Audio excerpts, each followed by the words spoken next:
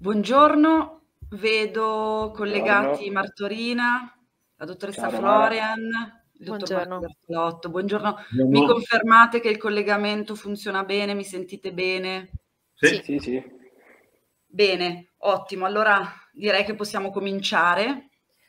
Eh, mi presento, mi chiamo Romana De Micheli e mi collego dalla redazione di cannabisterapeutica.info, il magazine online che quotidianamente si impegna a fare informazione sul settore.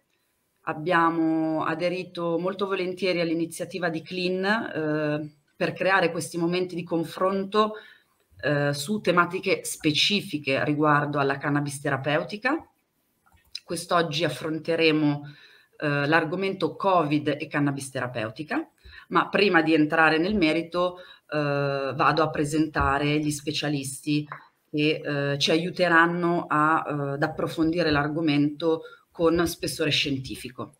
Allora abbiamo il dottor Marco Bertolotto, socio fondatore di Clean e direttore clinico della clinica, eh, la dottoressa Valentina Florian, specialista in alimentazione presso Clean, e Salvatore Martorina, direttore operativo di Clean. Eh, Clean è eh, la clinica di medicina integrata con focus su cannabis terapeutica che sta facendo un ottimo lavoro eh, in questo settore, aprendo proprio a 360 gradi eh, le potenzialità della cannabis su campo con i pazienti. Allora, l'argomento Covid e cannabis terapeutica ha raccolto grande attenzione mediatica. L'abbiamo visto anche sul sito di Cannabis Terapeutica, c'è stato un fiume di click sugli articoli che hanno parlato di questo studio che è uscito appunto a gennaio che eh, evidenzia, eh, sembra almeno evidenziare, poi voglio chiedere anche a voi appunto conferma di questo, la capacità di alcuni componenti della cannabis eh, di contrastare eh, la replicazione delle cellule eh, cellulare del eh, Covid-19. Eh, diciamo che poi l'attenzione mediatica ha fatto sì che sull'argomento si dicesse tutto, il contrario di tutto, quindi mi sembra giusto fare un po' il punto della situazione. Eh, chiederei a questo punto al dottor Bertolotto se ci può illustrare effettivamente che cosa dice questo studio. Sì, eh, tanto ve lo faccio vedere, lo studio è questo qua. Lo metteremo poi come link, la, la, il link alla pubblicazione dello studio nei commenti. Va bene, ok. Eh, questo è uno studio, diciamo così, interessante e soprattutto inaspettato. Non, non ci aspettavamo certamente che uscisse qualcosa del genere. Durante le prime fasi del, eh, del Covid, della prima ondata di Covid, si è parlato molto eh, del possibile utilizzo della cannabis, però senza che ci, ci, fosse nulla, siccome era un processo infiammatorio, nel Covid è un processo infiammatorio, quindi la cannabis ha proprio tanti infiammatori, un po' quello. Questo studio invece proprio parla della capacità di alcuni cannabinoidi, in questo caso il cannabigerolo acido e il cannabidiolo acido, di bloccare l'ingresso del virus all'interno delle cellule. Eh, sapete che il virus è, fatto, è un coronavirus, quindi ha degli spike, ha delle punte sulla, sulla superficie. Queste punte eh, si legano a dei recettori particolari, che sono i recettori per le ACE che sono eh, sulle, sulle, nostre cellule ed entrano dentro la cellula. Questi, cannabi, questi cannabi, eh, cannabinoidi, cannabidiolo acido e il cannabigerolo acido, si legano agli spike ed impediscono al virus di entrare nella cellula. Quindi messa così sembrerebbe che la cannabis ha una proprietà antivirale importante. Di fatto questo è uno studio che è stato fatto solamente in vitro, quindi in provetta, quindi sono stati isolati degli spike, sono stati isolati dei componenti della cannabis, sono stati miscelati, messi assieme e dobbiamo considerare che uh, i, il, i cannabinoidi che sono stati utilizzati sono cannabinoidi acidi, cioè legati a un gruppo COOH, come si trovano in natura. Quando noi li assumiamo, li assumiamo attraverso il calore, in questo caso alcuni subito dopo che è uscito questo ehm, lavoro hanno incominciato a dire, beh, ma allora eh, se noi fumiamo la cannabis, siccome il virus lo prendiamo per via respiratoria, se io fumo la cannabis in automatico blocco la propagazione del virus. Ma nel momento in cui, io dico magari fosse così sarebbe un gran colpo, il problema è che nel momento in cui io vado a eh, scaldare i, i, i, cannabinoidi, il cannabidiolo e il cannabigerolo, perdono la componente acida, diventano neutri, non si legano più allo spike e quindi di fatto non hanno più questo, questa eh, proprietà che, che, lì è stata, è stata, diciamo così, evidenziata in questo studio. È un primo studio, sicuramente ne verranno fuori altri con componenti ancora diversi, quindi ci sarà molto ancora da vedere. La cosa interessante di questo studio è che comunque ha messo i riflettori sulla cannabis, questo è dal nostro punto di vista, questo lo possiamo sicuramente dire. Più si parla del tema cannabis e più ne se ne parla in modo scientifico comunque, per noi è sicuramente importante. Certo, e poi sicuramente possiamo, eh, credo, ehm, occuparci anche di quelle sintomatologie da infezione Covid-19 eh, su cui eh, la potenzialità eh, di, della cannabis eh, di supporto all'insorgere di certe sintomatologie è già eh, assodata a livello scientifico, però questo poi risponda sempre Bertolotto, ehm, per esempio negli effetti neurologici. Eh, gli effetti neuroprotettivi della cannabis possono supportare il paziente affetto da sintomatologie post-Covid? Allora, eh, alla domanda è utile la cannabis del paziente che ha preso il Covid, diciamo nella fase acuta? Dico di no, non ha, non ha logica. All'altra domanda, cioè la domanda invece nella fase di post-Covid, nella fase di long Covid, laddove ci sono tutti quei fenomeni che sono gli effetti dovuti a un processo infiammatorio che è durato lungo tempo, che non è stato governato nel modo corretto, allora la cannabis lì è utile, perché comunque dove c'è una neuropatia sappiamo che la cannabis è, utile perché ne conosciamo i meccanismi d'azione del THC e del CBD. Io adesso quando parlo di cannabis parlo di, eh, di quello che conosciamo, cioè tetraidrocannabinolo e cannabidiolo. THC e CBD sicuramente hanno un'azione interessante sia come azioni antinfiammatorie, quindi nei, nei, nei fenomeni di infiammazioni croniche e laddove ci sono delle neuropatie e laddove è in qualche modo compromesso o interessato il sistema immunitario, certamente la cannabis è di grande aiuto, ma già lo stiamo utilizzando. Io sto già seguendo pazienti che hanno delle, delle, delle, della patologia del long covid, quindi queste cose che vengono poi dopo, che si manifestano per lungo tempo, già lo stiamo utilizzando, così come lo stress, post-covid, insomma, sono tanti i campi in cui noi possiamo utilizzare, dove noi possiamo... Già ci sono delle evidenze scientifiche, diciamo. Allora, non posso dire scientifiche sul Covid, posso dire sicuramente cliniche perché le vediamo, lo facciamo tutti i giorni. Scientifiche ci sono, diciamo, su tutti quei fenomeni che si manifestano col Covid. Cioè, qua se parliamo di neuroinfiammazione che si verifica col Covid, ci sono evidenze scientifiche sulla neuroinfiammazione dovuta ad, altri, ad altre patologie, così come ci sono evidenze scientifiche sulle, sulle su quelle, le infiammazioni cro- croniche anche ehm, a, basso, dire, a, a, basso impatto, dove noi sappiamo che la cannabis funziona bene. Quindi evidenza scientifica ce n'è veramente tanto. Ormai sulla cannabis penso che lavori ce n'è una quantità infinita. Sì, sì, le proprietà antinfiammatorie. Sì, antinfiammatorie, neuroprotettive, sicuramente sì. Ecco, su uhm, chiederei un intervento alla dottoressa Florian, perché appunto sulle proprietà antinfiammatorie della cannabis abbiamo dati già noti. Ehm, sappiamo anche che nell'ottica di una medici di una medicina integrata, un'alimentazione corretta è indispensabile in questo senso. Quali risultati si possono raggiungere? Quali potenzialità ha eh, l'abitudine a un'alimentazione corretta unitamente alla terapia eh, con cannabis?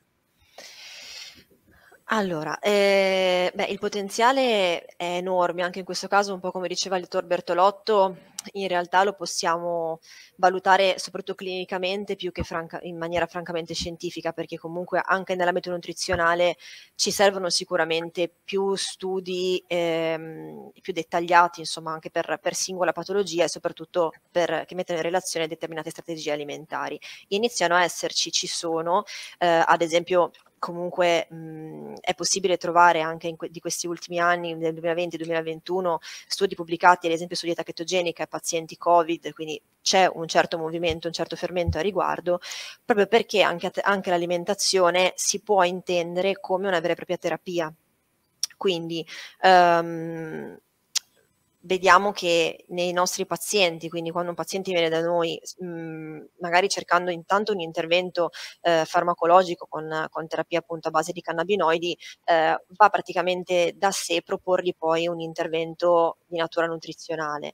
E, ehm, e un po' riprende la stessa filosofia della terapia con cannabinoidi perché è un intervento che può essere personalizzato, anzi deve essere personalizzato sul singolo paziente, perché anche qua quando iniziamo a parlare di corretta alimentazione dobbiamo stare un attimino attenti a, ehm, a pensare alle linee guida, diciamo, strutturate su, nate su studi epidemiologici, quindi su grandi numeri, oppure quella che veramente può essere la corretta alimentazione per il singolo, e, perché c'è una grandissima differenza.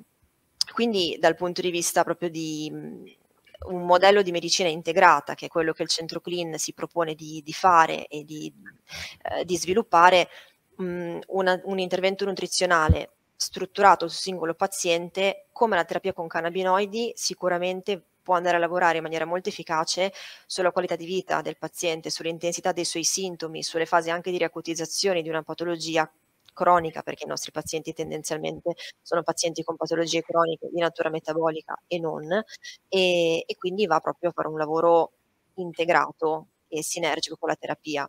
L'aspetto interessante della nutrizione è che non è un intervento solo sintomatologico, ma se si riesce a trovare una strategia a cui il paziente riesce anche a aderire sul lungo termine, si può avere un, um, proprio un, un intervento diciamo, diretto sulla progressione di malattia è, è, un po' da prendere con le pinze, però comunque si può lavorare su, veramente sullo stato, sulla biochimica, sulla fisiologia del paziente. Quindi è veramente un approccio molto interessante. Mi piace cioè andare un po' alle basi. Esatto, esatto. Cioè è un, praticamente un po' fare un intervento a 360, parti dal sintomo per poi andare a lavorare anche sulle cause, quindi un, ad esempio un paziente che ha una determinata patologia o dei dolori cronici, è un intestino malfunzionante, sicuramente ripristinare una buona salute intestinale, un, un buon lavoro intestinale può fare una differenza che il paziente finché non prova non sa fondamentalmente, quindi va anche proposto in un certo modo questo tipo di intervento. È chiaro che prendere delle gocce piuttosto che cambiare un'abitudine alimentare, una routine alimentare, richiede un'aderenza decisamente diversa, però se il gioco vale la candela io penso che insomma il paziente sia ben disposto a portarla avanti. Certo, è chiaro qua la prospettiva di una medicina integrata, eh, mi sembra anche eh, venga fuori una cosa importantissima eh, e credo che ormai i tempi siano maturi non solo perché Clean lo propone, ma perché credo che l'intero settore ne abbia bisogno eh, di eh, un'analisi specifica paziente per paziente della sua condizione di salute eh, per delle terapie mirate oltre che in una prospettiva eh, integrata. Mi pe- penso di aver capito giusto, ecco, eh, se è così che eh, intendeva la, la, dottoressa Florian. Cioè, come dire, sì. Eh, non, non, ti do la cannabis come no, la do esatto. a te, la do a chiunque e eh, come potrei prendere la tachipirina perché mi viene la febbre. No, esattamente. Quindi il principio non è che quello che, anche dal punto di vista nutrizionale, non è che ah, la mia vicina di casa sta meglio facendo così questa dieta, allora la faccio anch'io. No, il discorso non è assolutamente questo, come non lo è che una determinata terapia con cannabis, quindi un determinato rapporto THC-CBD per una persona vada bene automaticamente anche per un'altra persona, anche se la diagnosi è la stessa paradossalmente. Quindi il discorso di personalizzazione è proprio quello di avere ovviamente una serie di strategie in mente che sono minimo standardizzate, perché comunque abbiamo delle, non è che ogni volta proprio partiamo da zero, abbiamo delle idee, ma poi nello sviluppo di queste idee, di questi, di questi approcci, ehm, ovviamente dobbiamo cucire i vari interventi addosso, proprio addosso al paziente sulla base delle sue reazioni, sia anche al farmaco perché, che alle proposte nutrizionali. Anche perché mi immagino che si parta da uh, una visita a un paziente che lamenta magari tutta una serie di sintomatologie, però poi magari vengono fuori altre situazioni, altre connessioni rispetto a una situazione poi da guardare a 360 gradi. Esatto. E eh, che è un po' appunto eh, il focus di Clean. Ora, visto che mi sembra mh, un ragionamento innovativo, ma anche ormai essenziale eh, da portare avanti eh, nella cura del paziente, A questo punto faccio una domanda a Salvatore Martorina, direttore operativo, quindi mi sembra proprio giusta per te.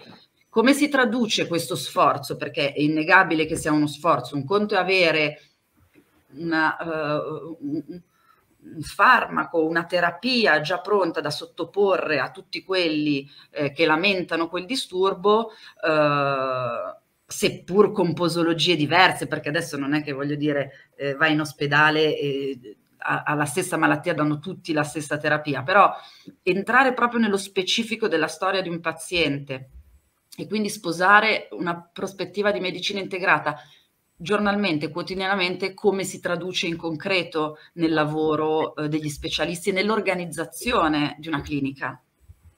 Ah, uh, guarda Romana, innanzitutto diciamo che il, il, progetto Clean nasce ovviamente contestualizzato in quello che è il mondo del settore della cannabis medica in Italia eh, nasce appunto per facilitare l'accesso alle terapie con la cannabis medica e per offrire al paziente la possibilità di essere partecipe del proprio processo di cura attraverso appunto la medicina integrata e personalizzata. Eh, semplificare l'accesso a questo tipo di terapia eh, per noi di Clean significa principalmente offrire una nuova possibilità di trattamento a centinaia di pazienti eh, in particolare a coloro che magari continuano a non trovare beneficio dalle terapie con i farmaci convenzionali.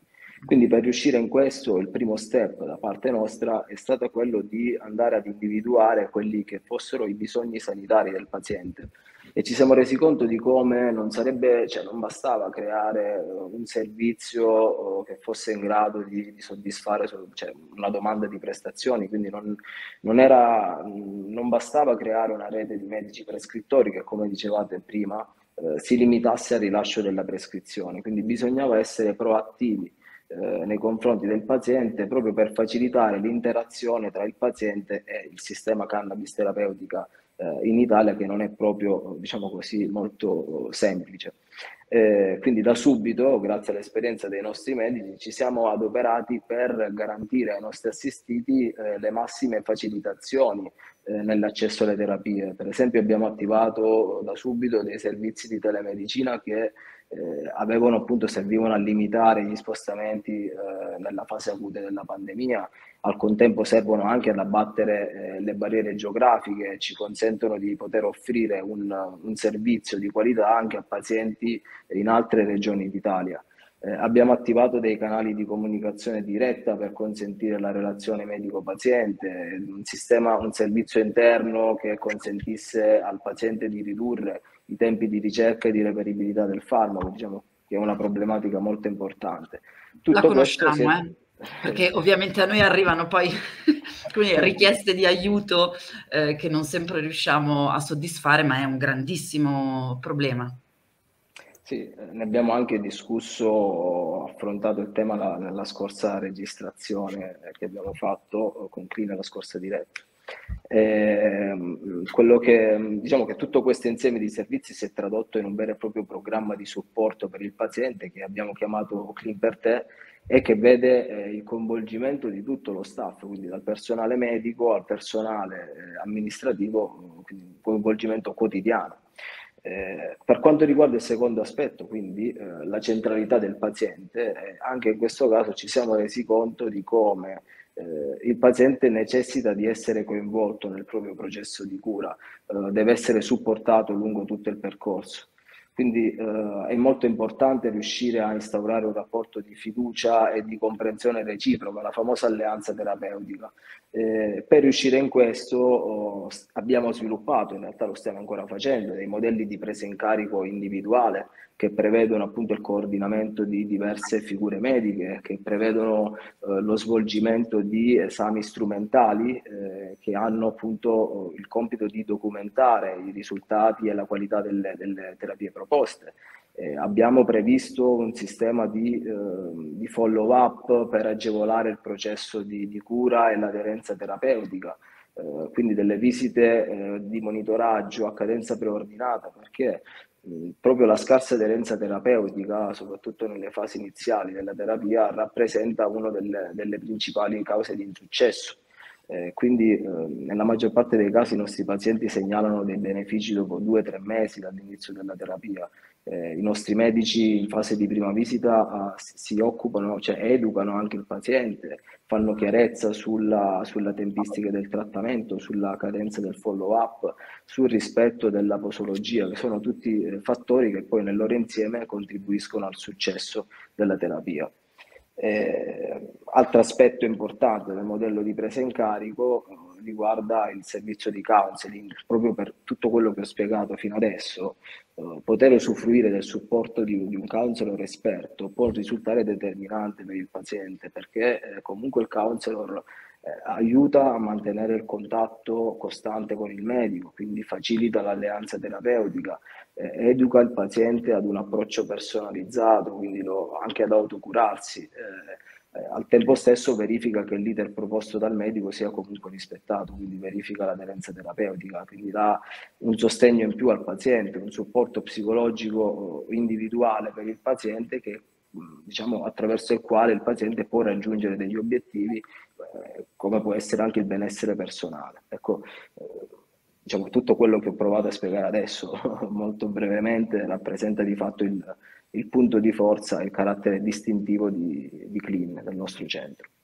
Uno sforzo notevole. Eh, diciamo che rimette al centro il paziente, la relazione col paziente come soggetto attivo della terapia, coinvolto, convinto, anche perché appunto in un'ottica di medicina integrata non ti do la pillola e tu stai meglio, a parte che non sempre succede così anche proprio nei metodi più tradizionali eh, e quindi se il paziente non è coinvolto, non è convinto e non è continuamente eh, in relazione eh, di fiducia con il medico, eh, si rischia ehm, di non portare a casa poi il risultato che è il benessere del paziente. Quindi eh, si torna agli aspetti psicologici inevitabilmente eh, e eh, che poi di fatto ci riportano per esempio subito indietro al Covid perché sappiamo tutti sulla nostra pelle, oltre che se ce ne fosse bisogno credo ci siano anche studi che ormai lo comprovano eh, scientificamente, questi eh, anni di pandemia e di gestione della pandemia, quindi lockdown, eh, quarantene, eccetera, eccetera, e tutto quello che hanno portato dietro hanno eh, innescato una crescita esponenziale dei disturbi eh, relativi alla salute mentale, ansia, stress, i giovani, c'è un, i bambini addirittura, eh, ci sono neuropsichiatrie ormai eh, che non sanno più dove mettere le mani. La cannabis, ancora una volta, eh, può intervenire come supporto, però vi chiedo, forse posso chiederlo alla dottoressa Florian, proprio per dare sempre spessore scientifico a quello che diciamo, come THC e CBD possono effettivamente supportare nella gestione di disturbi da ansia e stress fuori dall'immaginario uh, ti fumi la canna e ti tranquillizzi, perché dobbiamo riportare poi invece la discussione uh, su un altro livello, no? Ok, vabbè, eh, diciamo che in questo breve tempo che, che, abbiamo per parlarne sicuramente non raggiungeremo una specificità eh, la, insomma, così, così, elevata. Sicuramente ehm, il THC e il CBD sono due principi attivi che eh, ormai notoriamente riescono a lavorare in diversi contesti neuropsichiatrici e psichiatrici, anche se in modo diverso. La differenza principale, in realtà, proprio anche nel, nell'indicazione clinica, in questo senso, è che sappiamo il THC avere degli effetti psicotropi. Ehm, e che quindi in alcune condizioni relative a alcune patologie psichiatriche, specialmente quelle caratterizzate da da psicosi, mh, tendenze suicidarie e insomma, quindi situazioni abbastanza mh, gravi.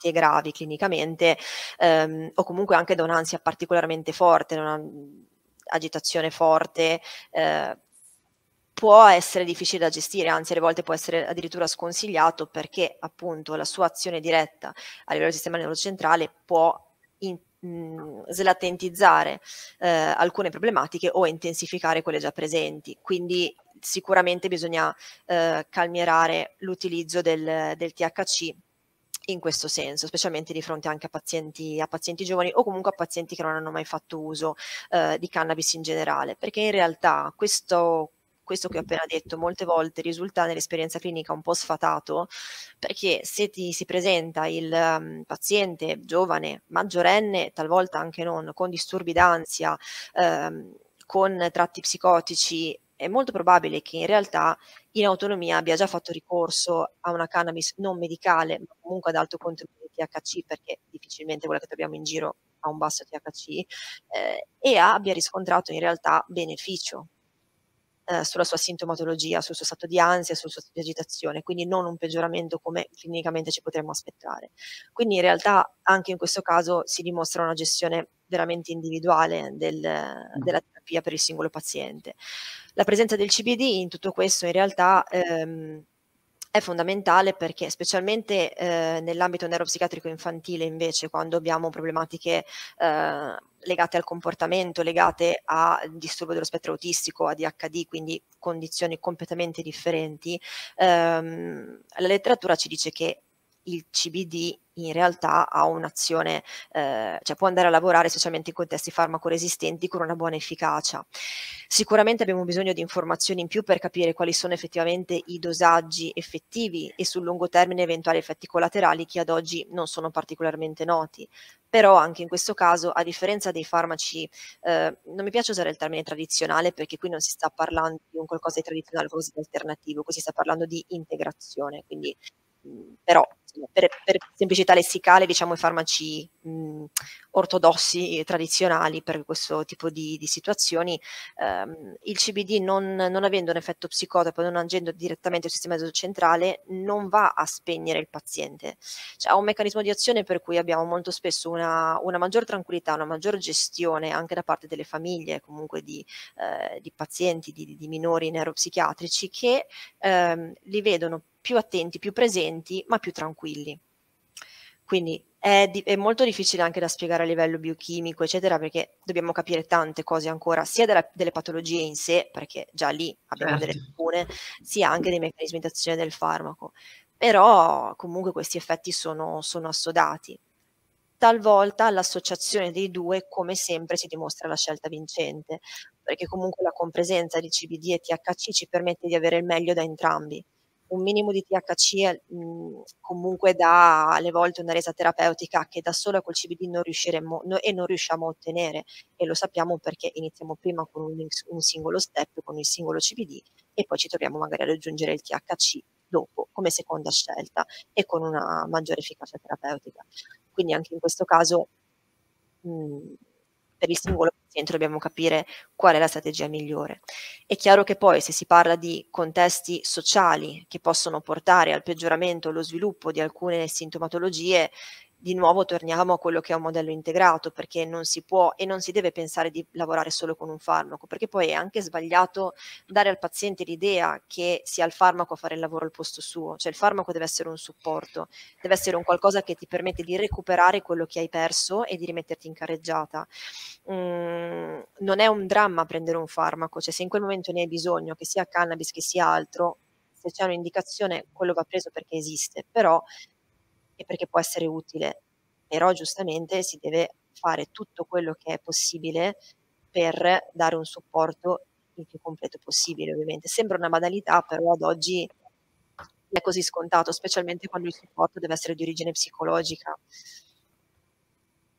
Certo, diciamo creare le condizioni sì. perché il paziente possa lavorare più sì. agevolmente uh, su quei disagi. Possa sì avere un supporto per lavorare sul suo sintomo, ma avere anche un sostegno, proprio dei, dei riferimenti, delle strategie aggiuntive per comunque imparare a conviverci, a gestirlo e non esserne condizionato, perché il problema è che se poi hai l'attacco di panico, l'attacco di ansia, non sei più sicuro di te stesso, chiaramente, cioè non sai ogni volta che hai un evento, qualcosa di diverso dal solito, non sai come reagire, non hai il controllo della situazione e devi avere degli strumenti che ti permettano di averlo, di raggiungerlo, di migliorarlo, oltre al farmaco, specialmente se parliamo di un paziente di 20-25 anni, anche meno, che ha una vita davanti da affrontare, quindi il anche in questo caso, ad esempio anche con l'intervento nutrizionale, possiamo andare a lavorare perché l'asse intestino-cervello è un qualcosa che è un concetto che ormai è assodato, quindi di nuovo anche fare un qualcosa che sia un po' fuori dall'ordinario, quindi dire vado a lavorare sull'alimentazione per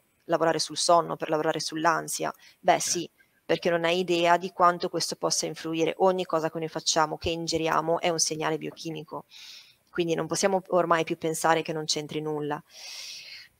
Quindi insomma, ecco, il modello è sempre questo, un singolo intervento non, non basta, è giusto dare al paziente un ventaglio di possibilità e strutturare con lui un percorso che possa renderlo il più autonomo possibile, ecco.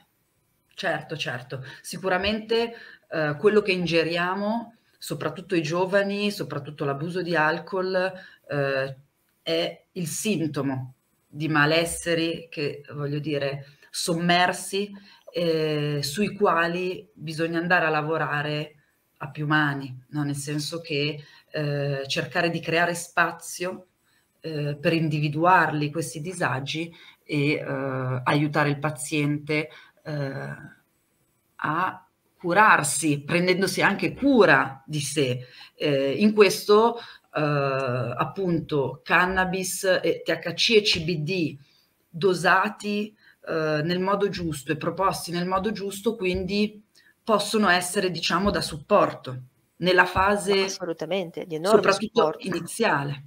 Sì, anche per evitare di ricorrere comunque ad altri farmaci, di non aumentare il dosaggio di altri farmaci, quindi insomma sono veramente una strategia mh, notevole che, e che il paziente app, app, mh, approccia anche con, con, maggior tranquillità, non so, è anche ci sono tanti pregiudizi legati alla cannabis paradossalmente, ma quando il paziente vuole intraprendere questa terapia è perché ha molti pregiudizi legati anche agli altri farmaci o perché ha esperienza con altri farmaci che non hanno avuto l'effetto terapeutico desiderato o perché insufficienti o perché non adatti o perché hanno provocato anche una serie di effetti collaterali indesiderati e che quindi ne compromettono un'assunzione poi continuativa nel tempo. Quindi sono comunque, è comunque una proposta che in questo momento è, è veramente vincente sotto tanti punti di vista. Va bene. Nel frattempo, poi eh, sicuramente eh, la, la, nostra discussione è aperta alle domande del pubblico, quindi eh, sempre che poi non vogliate aggiungere qualcosa, interrompetemi pure, vi sottoporrei anche qualche domanda calda. Poi magari cerco io di rivolgerla a qualcuno di voi, ma ditemi voi se eh, indico lo specialista giusto, insomma, sentitevi ovviamente liberi, io sono solo di sfondo. Allora, vediamo. Ovviamente poi parlando di eh, Covid eh, non si può eh, non porvi una domanda eh, sul vaccino. Allora, devo fare a breve la terza dose del vaccino. Ci sono interazioni con la terapia con cannabis? Forse, no. ecco, il Bertolotto ci può... Cioè, una domanda che abbiamo tutti i giorni, questo. I nostri okay. pazienti che prendono cannabis ci chiedono in continuazione se de- possono fare il vaccino, noi diciamo tutti di sì, certamente. La non cannabis c'è. non è una controindicazione. Poi a volte hanno patologie per cui prendono la cannabis dove loro magari possono esserci controindicazioni, ma non dovute alla cannabis, dovute alla patologia che hanno. Ecco. Ok, nessuna dose, né prima, né seconda, né terza, né un domani una quarta. Lo escludiamo. No, non c'è proprio, non c'è relazione, perlomeno non c'è relazione conosciuta, insomma ma conoscendo un po' come funziona la cannabis non dovremmo avere nessuna, nessuna problematica. Quindi a tutti abbiamo dato l'indicazione di fare il vaccino. Quindi. Allora, assumo cannabis con vaporizzatore. In caso di positività al Covid, potrei continuare a vaporizzarla senza problemi o sarebbe sconsigliato? Florian, vuole rispondere lei? Mm, anche in questo caso assolutamente non, non vedrei il motivo per sospenderla assolutamente no, specialmente anche perché la vaporizzazione è la via migliore per assumere cannabis per via inalatoria, non essendoci tabacco. Ecco, l'unica cosa magari di questo a prescindere dal Covid, di sapere che il vaporizzatore abbia un, sia di un certo tipo, ecco, non tutti i dispositivi sono medicali, certificati come medicali per, per, inalare, per vaporizzare la cannabis, quindi una particolare attenzione a quella già che ne stiamo parlando, però in relazione al Covid non c'è indicazione a sospendere. Ok. Allora, come possiamo pensare alla cannabis per contrastare il Covid quando in Italia il pregiudizio su questa pianta è così forte? Qua andiamo un po' sul politico.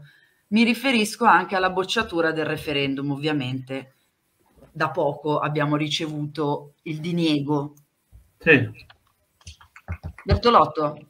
Allora, beh, intanto abbiamo già detto che la cannabis non ci serve per contrastare il Covid, perlomeno ne sì. abbiamo parlato all'inizio, quindi eh, diciamo il tema non è questo. Il tema del referendum è altra cosa, nel senso che il, il quesito era posto male e quindi è stato respinto. Poi noi francamente ci, ci, ci interessiamo e soprattutto, anzi esclusivamente a quello che è la cannabis terapeutica, quindi eh, quello che noi continuiamo a dire alle persone che ci chiedono su questo tema, sulla coltivazione di cannabis, l'autocoltivazione, che quando uno è ammalato e quindi ha una patologia deve essere seguito da un medico, cioè deve essere seguito da qualcuno che è competente di patologia, competente di farmacologia, sa seguire una persona malata, la sa seguire nel tempo, la sa prendere in cura. Ora quindi eh, pensare di dire alle persone, siccome manca la cannabis, tu te la coltivi in eh questo certo. modo, eh, eh, cioè, allo stesso modo non è, adesso l'aspirina non manca, ma se mancasse l'aspirina non è che gli possiamo dire coltivati i salici, poi ti fai acido acetilsalicilico e così avanti, ti coltivi l'oppio perché non c'è la morfina. Cioè, il problema sta nel fatto che la cannabis manca perché c'è un, e poi il problema riguardava proprio quello, no? cioè che se si abrogava eh, come dire, la parola coltiva nel eh referendum, poi si rischiava di dare il via libera alla coltivazione di qualsiasi quello, cosa. Quello è il vero tema, io lo dico a te. Allora, noi, siccome tutti i giorni combattiamo con la carenza di prodotto, di cannabis, di cannabis eh, terapeutica, proprio è, i nostri pazienti sono pazienti di serie B, dobbiamo dirlo. Eh, l'ho fatto presente al Ministero, incontrerò la prossima settimana il sottosegretario e gli dirò di nuovo questa cosa qua. Eh, è impensabile che noi abbiamo pazienti che non abbiano la terapia per potersi curare. Quando poi il, il, lo Stato ha fatto una legge che dice che noi possiamo utilizzare la cannabis qualora ci sia inefficacia terapeutica da una parte dei farmaci tradizionali o effetti collaterali. Quindi non è che poi puoi dirmi, beh, se non c'è la cannabis, dai qualche certo. cos'altro, perché mi hai detto che la devo usare quando non c'è qualche cos'altro e poi mi lasci, mi lasci per strada. È veramente una cosa, un non senso. E far credere alla gente che ti puoi coltivare la cannabis perché così ti curi e li spinge a commettere un reato che devo dire che le persone comunque fanno, perché noi molti dei nostri pazienti quando sono senza terapia vanno a cercarla là dove la trovano e lo sforzo di Clean è proprio in questo, no? Cioè Clean lavora, come diceva prima Salvatore, stiamo lavorando proprio per assicurare la terapia a questi pazienti, per cui abbiamo una rete di farmacie con cui noi siamo collegati e ci sono delle volte che facciamo arrivare in Val d'Aosta la cannabis che parte dalla Sicilia, cioè gli facciamo fare tutta la strada alla, questo, al prodotto. Perché? Perché altrimenti il paziente ci rimane senza terapia, non ce lo possiamo permettere. Noi eh, nostre, ai nostri pazienti diciamo che li prendiamo in cura prenderli in cura vuol dire che eh, dobbiamo, dobbiamo assicurargli la terapia. Ma, ma, non è così facile, non è così facile perché no. il numero di pazienti aumenta, la cannabis manca, non c'è certezza, il Ministero devo dire che non sta facendo il lavoro che, de- che, che deve fare. E questa storia del referendum ha, fatto, ha confuso un'altra volta, ha confuso le idee. Io yeah. continuo a dirlo, eh, anche ho avuto una, una call con eh, l'onorevole Bonino a cui ho detto differenziate la, la cannabis terapeutica dalla cannabis eh, per uso ludico. sono due mondi diversi, sono due tipi di persone diverse. Uno sono pazienti ammalati, l'altro sono persone che vogliono trovare il, come posso dire così, il piacere da una cannabis, ma sono proprio due mondi completamente diversi, vanno è Abbiamo conosciuto come cannabis terapeutica molti pazienti, una sezione del sito parla proprio delle testimonianze dei pazienti personalmente mi sono occupata di raccontare le storie di alcuni bambini eh, per i quali, per l'epilessia dei quali l'unica terapia efficace è cannabis e per loro la terapia è quella, non può essere la pianta in casa e deve essere quella continuativamente, senza interruzioni, con delle situazioni drammatiche che poi vengono sopperite perché il singolo farmacista mette in lista di attesa prima la bambina rispetto a qualcun altro. Cioè, situazioni anche davvero abbastanza drammatiche no, sì, che entrano con la questione del referendum, ovviamente. Cioè, no, ma è così, è così. Ma, cioè, noi potremmo fare un elenco di patologie, ma un elenco di persone che, che è più, più, importante delle patologie, proprio persone che aspettano, che ti scrivono tutti i giorni e dicono, dottore, non ce la faccio più, ne ho bisogno, ne ho bisogno per vivere, cosa devo fare? Sto pensando al suicidio perché adesso sto male, cioè, prima mi date la cura, poi me la negate, è veramente un, un lavorare incredibile. Eh, speriamo presto di trovare una, che il governo trovi una soluzione anche a questo. Speriamo, dovrebbe essere insomma loro dovere, no? Sì, esatto.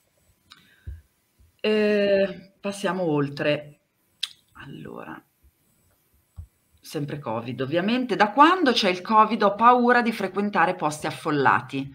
Qui, ecco, la cannabis medica può sostituire gli ansiolitici, eh, forse adatta Florian, ne abbiamo già parlato. Sì, esatto, alla fine riprendiamo un po' quello che abbiamo già accennato prima. Eh, sì, diciamo che mm, la cannabis può essere utilizzata con, a questo scopo, quindi quello anche di, di controllare, eh, in questo caso essere l'agorafobia piuttosto che stati d'ansia relativi a determinate condizioni.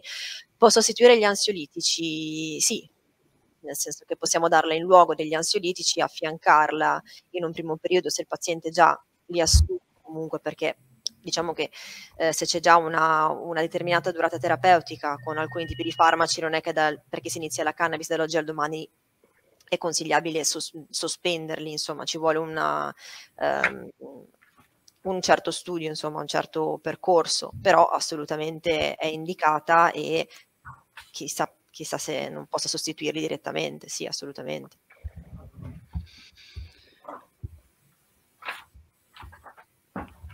Allora, beh, l'ultima Ri- ritornerei a Martorina perché ti ho lasciato troppo tranquillo. Salvatore. Cioè, ci provo.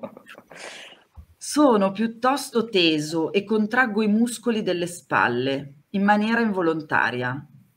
Il mio fisioterapista mi consigliava l'uso del CBD. Può essere utile l'olio che si compra online? Ecco qua, si apre. Ah, innanzitutto mi, mi, leggo con piacere che ci sono anche degli altri operatori sanitari, eh, non solo medici, Iniziano, che consigliano sì. l'uso del, del CBD eh, in questo tipo di procedure riabilitative. Ma eh, guarda, le, le procedure, le, le proprietà biorilassanti, antinfiammatorie del, del CBD, così appunto come le, le sue applicazioni nel, in ambito riabilitativo eh, sono ormai note e devo dire anche eh, supportate da, da, da, diverse evidenze scientifiche. Eh, ricordiamoci però che nonostante il CBD non ha alcun effetto psicoattivo, stiamo comunque parlando di un, di un principio attivo, stiamo comunque parlando di una molecola, eh, di una materia prima farmacologicamente attiva e quindi come tale quando si valuta di eh, acquistare un prodotto al CBD o di assumere un prodotto al CBD dobbiamo innanzitutto pensare che stiamo oh, acquistando o comunque vogliamo acquistare un prodotto di tipo farmaceutico fondamentalmente, eh, quindi l'acquisto dovrebbe avvenire in farmacia previa, previa il, il, consiglio di un medico o, e la prescrizione di un medico. Eh, quindi acquistare un prodotto online, non olio, online, non olio al CBD, ma qualsiasi tipo di prodotto al CBD online oggi eh, significa nella maggior parte dei casi acquistare un prodotto ad uso tecnico, quindi un prodotto che non è previsto l'uso umano, può essere utilizzato dall'uomo e che come tale anche eh, può oh, avere dei potenziali rischi per la, per la salute. Anzi, mi viene, vado a notizie di qualche settimana fa, mi, sembra in Svizzera, da un'indagine che è stata fatta dall'Associazione dei, dei chimici svizzeri, mi sembra che è venuto fuori che l'85% dei prodotti venduti online eh, in Svizzera ovviamente non fosse conforme perché aveva dei valori di THC troppo, troppo elevati o comunque non soddisfava le, eh, gli standard di produzione. Quindi sicuramente il CBD può essere utile nel trattamento delle contrazioni muscolari o comunque anche nel trattamento di, anche di altre patologie che interessano l'apparato muscoloscheletico, però è, è, sempre importante prima di farne uso rivolgersi al proprio medico di, di famiglia o comunque a uno specialista. Per quei medici di famiglia che... Ah. Ma ci sono. Faremo, faremo una iniziano, puntata, iniziano, su, faremo eh, una puntata sono, su, sui medici di famiglia. Iniziano a, ad interessarsi, a, a, chiedere, a parlare. Io direi quasi, quasi tutti i giorni qualche medico di famiglia mi chiama per sapere, per conoscere. Insomma. Poi c'è tanta burocrazia. Il primo, primo step del paziente, no? il, primo, sì. il paziente come primo step si rivolge a loro. Se anche loro iniziassero a consigliare questo tipo di, di terapie, diciamo che è ancora un po' divisivo, io lo dico da paziente, da figlia di paziente, eh, è ancora un argomento un po' divisivo. Il CBD è, eh? neanche il THC, il CBD. Qualche medico che mi dice ma io non ci credo tanto come se si parlasse di fede, eh, però sicuramente rispetto a cinque anni fa, tre anni fa, l'anno scorso, eh, come dire, mh, non credo che si possa tornare indietro e eh, la divulgazione scientifica ha portato avanti poi una diffusione di informazioni, di coinvolgimento rispetto ai risultati, eh, alle ricerche, agli studi clinici, quindi è un moto che secondo me non, non è che si arresterà, non si tornerà indietro. Ecco. Quindi adesso giungendo anche un po' alla conclusione, eh, ringraziandovi perché ogni momento di confronto eh, è importante in questo moto che deve andare avanti di diffusione delle informazioni eh, fatte puntuali, eh, con precisione e eh, spero appunto di partecipare nuovamente, di approfondire altre tematiche, magari anche di sottoporvele e di continuare insomma eh, quest- in questa collaborazione, proprio perché appunto riceviamo tante richieste di informazioni anche da medici stessi che ci scrivono chiedendo informazioni, quindi eh, ci impegniamo nel nostro ruolo che è prettamente quello giornalistico di fare informazione, ma rimettendo poi a voi il compito principale. Grazie Romana. Se non Grazie. volete aggiungere nient'altro, salutiamo e Bene. con un ultimo ringraziamento, sperando di rivedervi presto, vi auguro un buon weekend. Ci, ci, vediamo il prossimo, il prossimo mese con la nuova, con la nuova diretta. Bene, bene. Ti, ti riconfermiamo, ti riconfermiamo. Anche perché se no devo farlo io il moderatore. Diciamo che... No, no, no. Partecipo molto volentieri allora. Ok. Grazie. Ciao a tutti. Grazie Un saluto a tutti. Arrivederci, allora. grazie.